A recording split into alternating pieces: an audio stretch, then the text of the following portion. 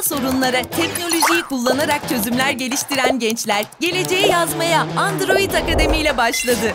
431 takım başvurusu alınan Android Akademi'de tarım, siber güvenlik, eğitim, afet ve sağlık konularında projeler geliştirildi ve finale kalan 8 takım belli oldu.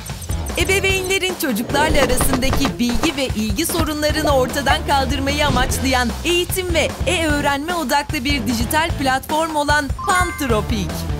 Marco zinciri algoritmasına dayalı şeffaf ve çevik bir yazılımla şirket çalışanlarını phishing saldırılarına karşı koruyan Deathbot. Ağ güvenliğinden emin olmak isteyen her internet kullanıcısı için ağınıza bağlanan yabancı cihazları ve ağ hareketlerini izleyip ağ güvenliğini sağlayan Lineware.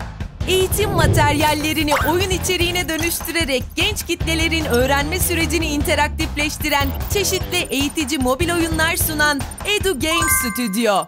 8-18 yaş arası çocuk ve gençlerin sağlık okuryazarlık düzeyini arttırmak ve interaktif öğrenme süreçlerini eğlenceli hale getirmeyi amaçlayan bir platform olan Ruby Games. İstediği sebze, meyve ve bitkiyi yetiştirmesini ve bakımını yapmasını sağlayan bir akıllı saksı robotu olan Sea Farm.